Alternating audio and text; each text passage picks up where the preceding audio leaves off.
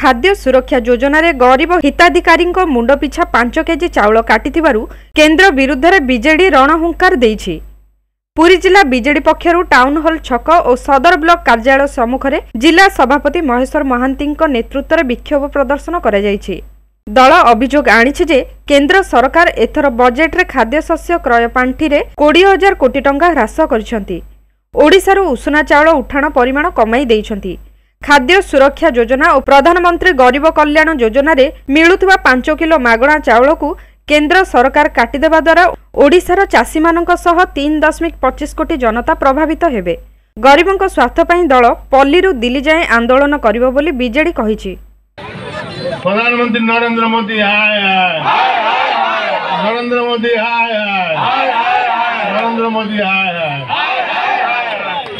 ସ୍ୱାଗତ ଯୋଗ୍ୟ ତାହାର କାରଣ ହେଲା ଦଶ ବର୍ଷ ଶାସନ ସରିବାକୁ ଯାଉଛି ପ୍ରଧାନମନ୍ତ୍ରୀଙ୍କର ଯାହା ଯାହା କହୁଛନ୍ତି କଥାରେ ତାକୁ କାମରେ ପରିଣତ କରୁନାହାନ୍ତି।